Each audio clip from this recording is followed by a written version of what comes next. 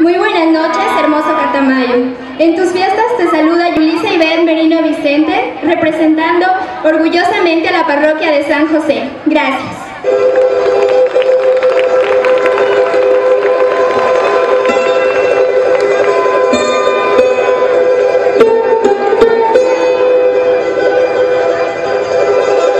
La participante de San José luce un traje de fantasía, diseñado y confeccionado por eh, el prestigioso diseñador Gustavo Otero de la provincia de El Oro, en representación de la diosa del sol.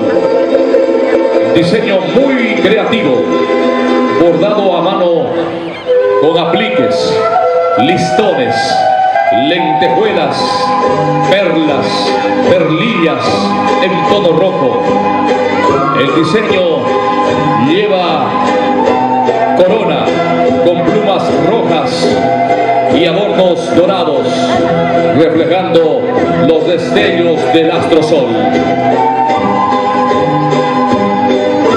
La riqueza de nuestros antepasados, su oro, su plata y la belleza cautivadora de sus mujeres representa esta hermosa mujer aquí presente. Lleva un pareo y listones en los brazos que envuelven a la candidata en un cofre de cristal llamado también diosa gloriosa que brilla en el cielo, de la que emana la luz y en numerosas ocasiones se hace alusión a ella como la digna soberana con su calidez.